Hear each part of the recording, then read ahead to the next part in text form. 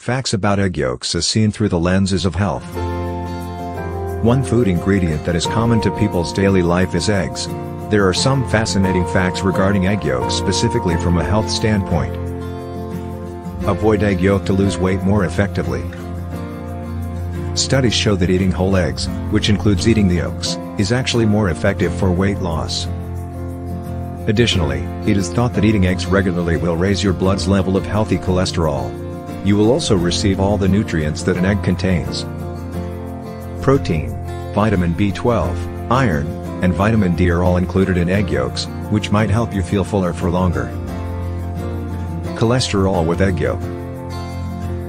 Consuming egg yolks is not harmful if you don't have a heart condition.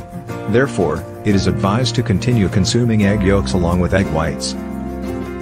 In the meanwhile, persons who have heart issues should limit or avoid eating egg yolks. The average egg has 186 milligrams of cholesterol, or 62% of the recommended intake, which is the cause. Can improve brain function.